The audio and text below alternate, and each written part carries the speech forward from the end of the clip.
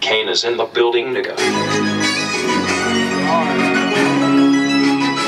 If I share with you my story, you share your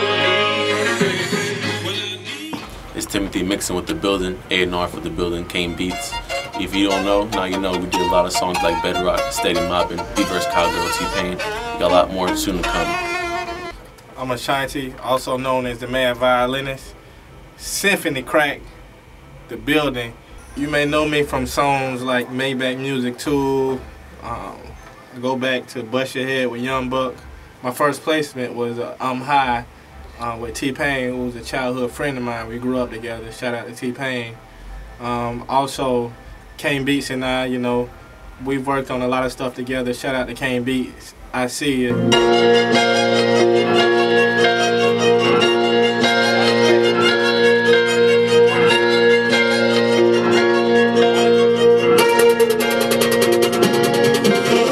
Hey, it's Kane Beatz, chilling. We in the building right now, Atlanta, Georgia. Where I work at. Out here, shout out to my man Ashanti, shout out to Tim, shout out to Ben Reddy, Chris, everybody, the whole building. We here repping. Um, I'm most known for producing records like Bedrock, Steady Mobbin, Wayne featuring Gucci, um, for T-Pain, Wise, Flo Rida, man, a whole bunch of people, man. 2009 was big. 2009 was big, but 2010 is about to be even crazier, man. We about to go in. It's gonna be stupid, man. Look out for all the Young Money projects. Wayne's coming out. The Carter 4 is gonna be stupid. Working on T.I. right now. Shout out to Nicki Minaj. That's my girl. You know what I'm saying? Shout out to her. Her album's gonna be stupid. Man, we just out working, man. I can't give out all the secrets because it'll be stupid, but we're doing this. Let's go.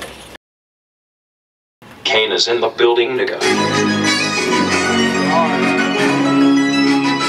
If I share with you my story, will you share your